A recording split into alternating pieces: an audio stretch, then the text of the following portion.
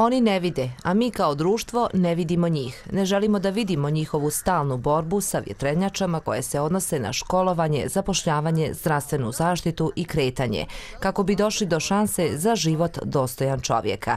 Ta ravnodušnost okoline nervira i Milijanu Krsmanović, kojoj biti slijep ne predstavlja prepreku. I danas dan se susrećem sa tom borbom svakodnevno i ta predrasuda ljudi, šta ja kao lice sa oštećenjem vida mogu, šta ne mogu.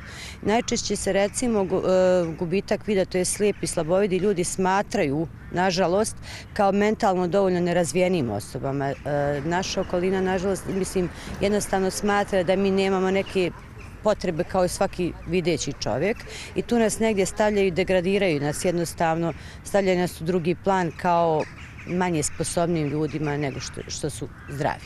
Za razliku od većine njoj sličnih, Milijana se dosad dobro nosila sa invaliditetom koji posjeduje. Moja borba je naravno bila lavovska, je trajala je tri pune godine da se ja jednostavno pokažem, da kažem uopšte da, da, da postojim u ovom društvu i da sam negdje radno sposobna, čime sam, na što sam jako ponosna, radim kao fizioterapeut u opštoj bolnici Sveti Vračev, već četvrta godina i jako sam zadovoljna sa tim svojim poslom. Oni bez posla prepušteni su na milost i nemilost države, a do pomoći sve se teže dolazi, jer ni samo udruženje koje okuplja slijepe i slabovide osobe u Bijeljini nije aktivno i više je pod katancem nego što je otvoreno za svoje članove. Već ima nekih tri po četiri godine kako je došlo do toga, naime udruženje je ostalo bez nekih osnovnih finansijskih sredstava, dakle su se negdje finansirale te neke osnovne stvari kancelarije.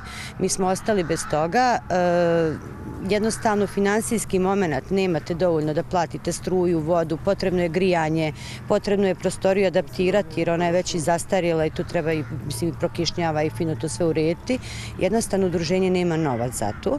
E, članstvo kao članstvo sa svim svojim e, skromnim članarinama jednostavno ne može da podnese taj finansijski udar. Dok čekaju da prostorije udruženja ponovo zažive, okruženje može mnogo toga da uradi kako bi im olakšali svakodnevnicu, tvrde iz koalicije Kolosi, koji su desna ruka svim osobama sa invaliditetom jer osobama s invaliditetom trebaju personalni asistenti, znači trebaju personalni asistenti, treba odgovarajući prijevoz, gradski prijevoz ili bilo koji način, bilo koji način da si ti prvo ti iz kuće izađu ti osobe.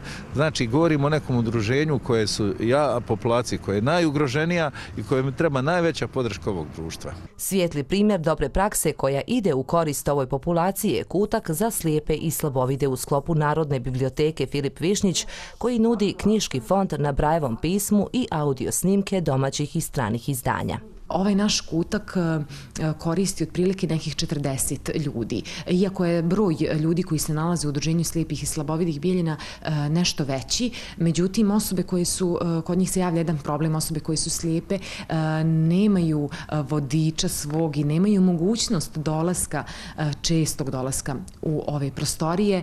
Osobe koje su slabovide, one nešto češće dolazi. Regionalno udruženje slijepih i slabovidih okuplja 80 članova i pokriva područje Bijeljine, Ugljevika i Lopara. Radi se o pretežno starijim osobama koje žive između četiri zida, a čija životna borba za mnoge je nevidljiva.